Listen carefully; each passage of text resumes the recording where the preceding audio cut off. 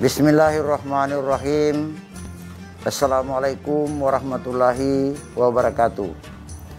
Marhaban ya Ramadan.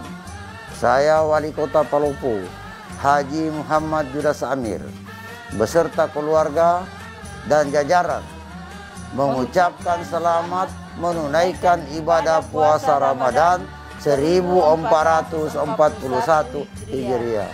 Semoga bulan Ramadan ini mendatangkan ketentraman bagi kita semua terkhusus dalam menghadapi duka COVID-19.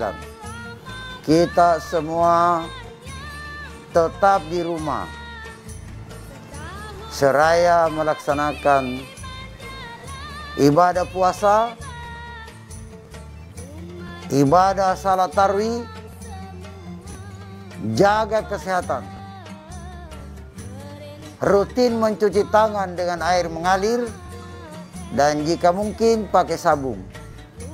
Dan yang tidak kalah pentingnya adalah jangan lupa memakai masker kalau keluar dari rumah. Terima kasih. Assalamualaikum warahmatullahi wabarakatuh.